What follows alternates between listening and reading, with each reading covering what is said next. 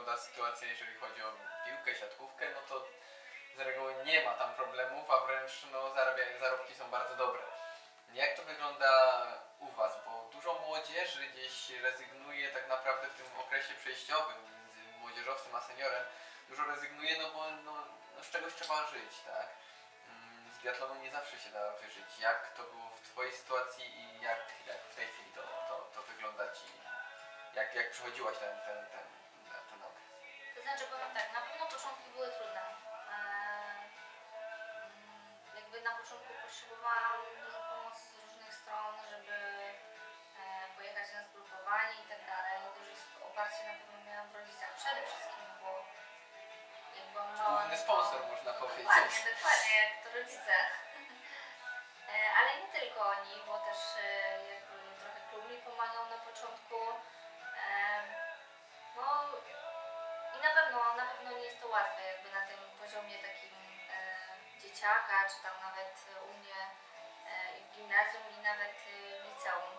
E, Przyznam się szczerze, że do momentu jakby medalu mm, Mistrzostw Świata e, było ciężko, ale ale teraz y, absolutnie nie mogę narzekać. Na pewno e, jakby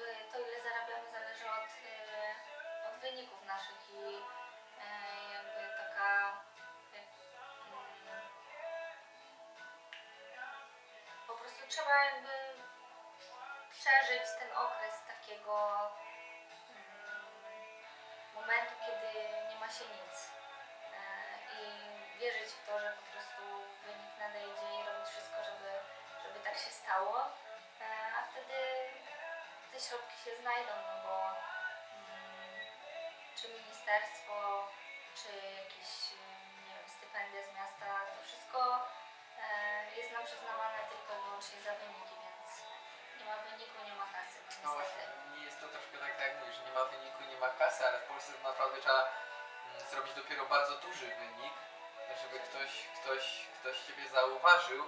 Mm, Nie jest Wam też troszkę przykro, na przykład patrząc y, tutaj na nasz, e, nasz lokalny chorzowski y, rynek, gdzie mm, mamy zadłużony ruch Chorzów, który otrzymuje 18 milionów y, pożyczki i mamy naprzeciw NKS Dynamit, który po prostu wychował takie osoby jak Tomasz Sikora, a no, w tej chwili to już raczej mm, nie wiem czy jeszcze istnieje, ale chyba już upadł. y, Jeszcze może tylko na papierze istnieje, jeżeli chodzi o zawodników, to już chyba tam nie ma. Nie boli Was to troszkę, że, że gdzieś te pieniądze, duże pieniądze są wydawane na, na no czasami poziom po prostu ligowy, krajowe podwórko, a Wy na międzynarodowej arenie musicie naprawdę pokazać dopiero nie wiadomo co, żeby ktoś Was zauważył. Znaczy na pewno boli, na pewno boli. Ja już się do tego przyzwyczaiłam. Wystarczy popatrzeć ile jest orlików dookoła, żeby e, piłkarze sobie pokopali. E, a nieraz e, chodziliśmy, czy to trenerzy, czy związek, e, do różnych władz e, o jakąś tam dotację, czy pomoc e, w wybudowaniu ośrodka, czy kawałka rolkostrady. Nie jest to sprawa łatwa na pewno. No, na pewno się to kryje z tym, y, z popularnością wiąże się. Mm, No i tu też y, nasza też trochę w tym rola, żeby jakby coraz bardziej promować y, ten biatlon. Wi- Wiadomo, że najbardziej promują wyniki. My robimy wszystko, co w naszej mocy, ale wiadomo, że nie zawsze patrząc na tutaj na, na Chorzów, tak jak dynamit Chorzów no już teraz, teraz praktycznie nieistniejący, ale wychował gdzieś tam taką osobę jak Tomasz Sikora. A teraz jest klub UKS Karli Chorzów, który prowadzi też Olimpijka z Vancouvera, Agnieszka Cyr. W ogólnie w okolicy też również powstają takie dość, dość lic- liczne, liczne grono teraz jest tych, tych uczniowskich klubów mm, z sekcji biatlonu typowo. Mm, Z czego to wynika, że tutaj na Śląsku, gdzie no, do góry jest jednak prawie 100 kilometrów, ten biatlon cieszy się taką popularnością i gdzieś tam urodził takie osoby jak Tomasz Sikora czy, czy, czy choćby Monika Hojnisz. No właśnie to jest taka ciekawa zależność. E, Nie wiem, no z czego to wynika. Może właśnie takie dzieci, które są stąd, e,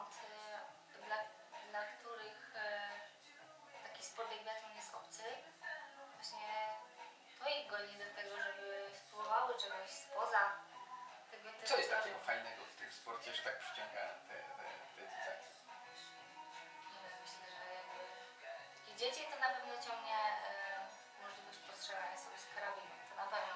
Przynajmniej pamiętam jak e, u mnie to było, u mnie to wyglądało, że e, na pewno ten kontakt z tą bronią nie jest to coś, co możemy sobie poćwiczyć na WF-ie, prawda? Chociaż teraz już coraz prościej są karabiny laserowe, więc wszędzie można sobie postrzelać.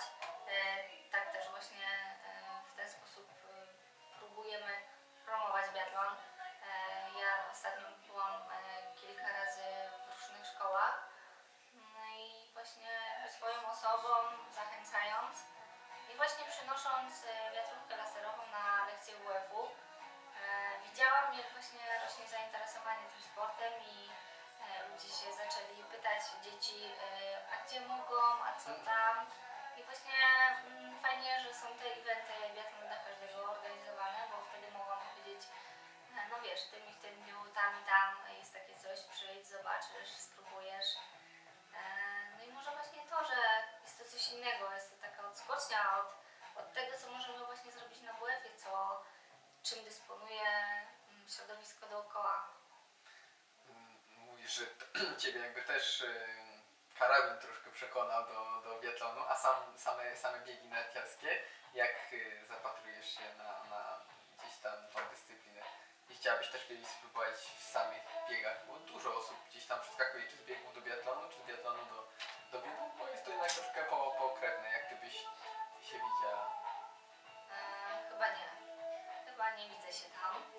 E, zawsze wydawało mi się, że jakby samo narciarstwo, same biegi narciarskie, tu nie umniejszając oczywiście narciarzom biegowym, jest nudne.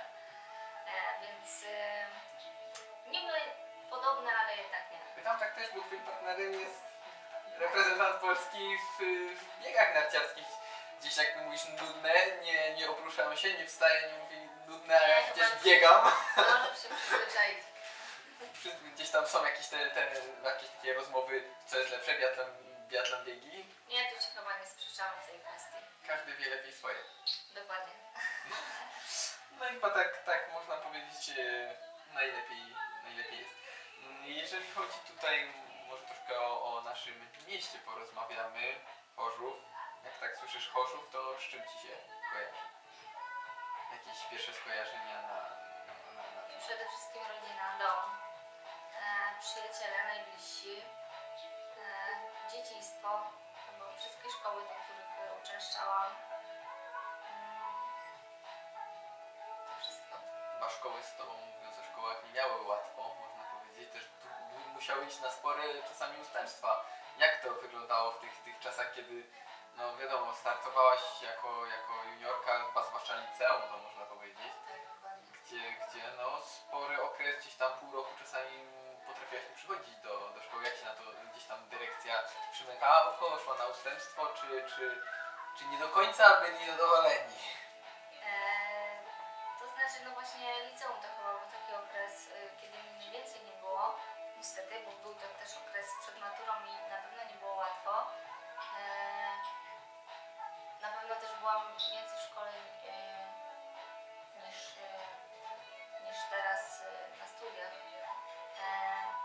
ale to broń Boże nie można porównywać, bo teraz mam indywidualny tok nauki. Wtedy normalnie była możliwość e, indywidualnych lekcji, indywidualnego toku, e, ale myślę, że to nie wyszłoby na plus. Zresztą dyrektor też e, stwierdził tak. Mm, Miałam to szczęście, że w szkole, do której chodziłam, czyli Kiri Skłodowskiej, mm, naszej w Chorzowie, był wspaniały i dalej jest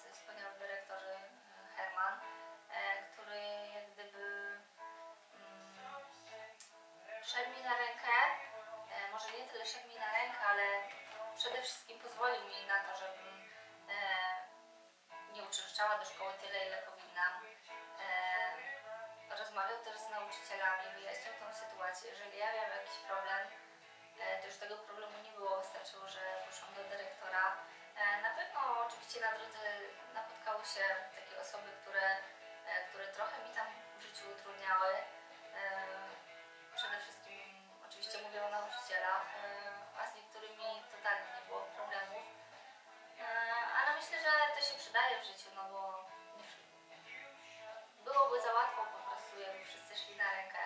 A tak, jeżeli na drodze jakieś tam e, poprzeczki są stawiane i, i trudności, to też uczymy się tego, żeby je pokonywać. Przecież życie, życie nie zawsze jest lekkie. No tak, a jeżeli chodzi o, o kolegów, koleżanki w szkole, gdzieś tam nie, nie zazdrościli, a on sobie może jechać na pół roku i wróci zaliczyli wszystko, a my musimy tutaj codziennie być. Gdzieś tam nie było takiego troszkę podejścia do ciebie takiego innego. E, nie, czegoś takiego nigdy nie słyszałam tak prosto w twarz. A czy za plecami było coś takiego, no to teraz nie powiem. E, ale myślę, że jak przyjeżdżałam, e, to nigdy nie odczułam jakby takiego antynastawienia do mnie. Wręcz przeciwnie, e, kto mógł, to mi wtedy pomagał, pożyczali mi zeszyty, notatki i tak. E, Większość z nich musiałam po prostu przepisywać, bo takie były, były wymogi mm, nauczycieli. Mm, Do dzisiaj mam kontakt z, z niektórymi ze szkoły, z liceum, nawet kontakt taki bardziej przyjaźni. E, Myślę, że to były wspaniałe lata e, i poznałam tam wspaniałe osoby, mimo że tak długo i często nie, nie bywałam w szkole. A z nauczycielami, jaki obecnie ma, masz jakiś kontakt jeszcze? Z, z... Jakimiś tam poszczególnymi mamami z podstawówki, z gimnazjum, liceum. Eee, zdarza mi się też z nimi spotykać, bo odwiedzam te szkoły. Mm, więc są. ulubione miejsce w Chorzowie? Miała powiedzieć, gdzie lubisz spędzać czas, czy masz takie jakieś swoje mm, miejsce tutaj w naszym mieście, które byś chciała po, po, polecić, powiedzieć, no ja, ja tam na przykład, nie wiem, wyciszam się, czy, czy, czy, czy lubię po prostu iść na, na, na spacer.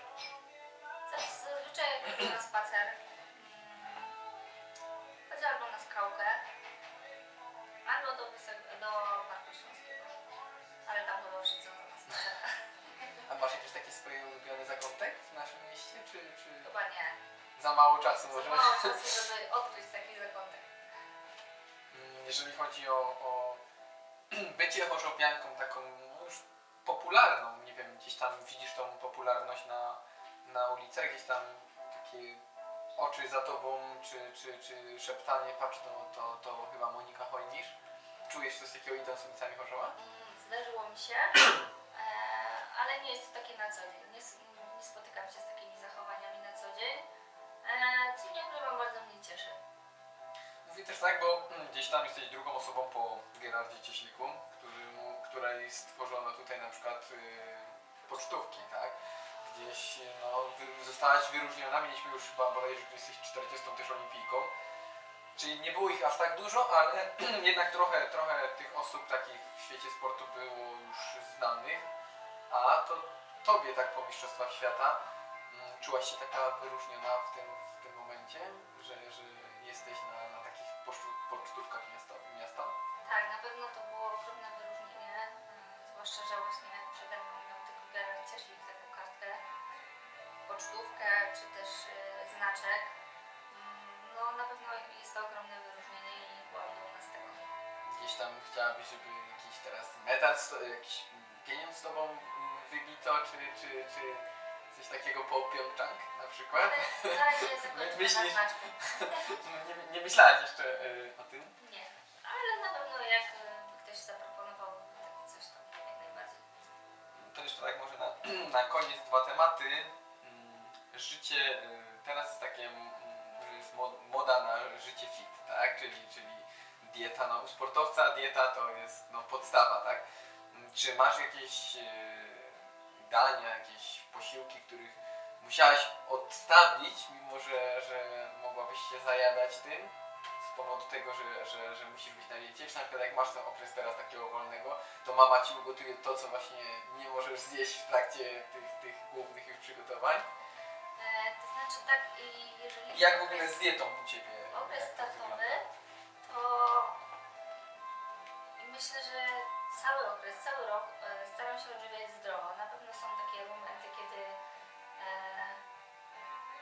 zjem sobie coś cięższego, coś tłustszego, czy jakiś fast food na mieście.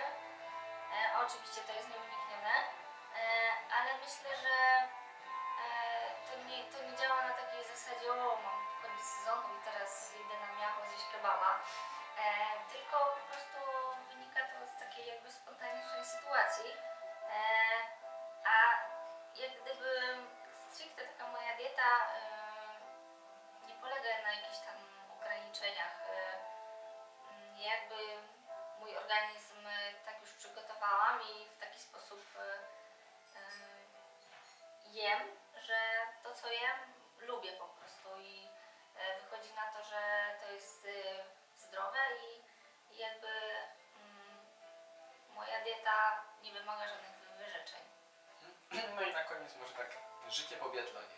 Wyobrażasz sobie już coś takiego? Gdzieś tam myślami wiesz, że chciałabyś być, nie wiem, trenerem yy, w biatlonie, czy, czy, czy założyć jakiś własny klub, czy może po prostu iść w kierunku, którym, którym gdzieś tam studiujesz.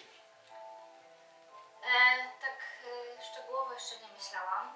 Mm, Jakby przyszło mi teraz kończyć, to mm, nie wiedziałabym w sumie co, co robić. Na pewno dalej kontynuowałabym naukę na studiach i być może właśnie coś w, tym, coś w tą stronę. E, aczkolwiek no myślę, że jeszcze chwilę mam do namysłu, co, co bym chciała robić w przyszłości. E, Ale sobie teraz też- wyobrazić w ogóle życie bez, bez karabinka, bez nart? Chyba tak, chyba umiem. E, Znaczy może trenując y, łatwo mi to powiedzieć, ale jakby mi przyszło tak rzeczywiście e, zdecydować, że koniec i na pewno te początki są e, ciężkie. Myślę, że to każdy sportowiec, który zrezygnował przyzna. Mm, Ale na pewno potrzeba czasu, mm, jak przy każdej traumie.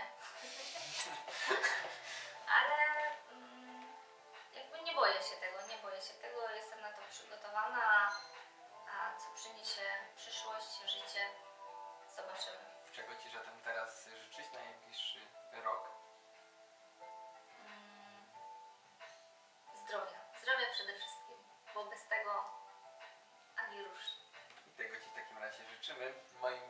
gościem była Monika Wojnysz. Dziękuję.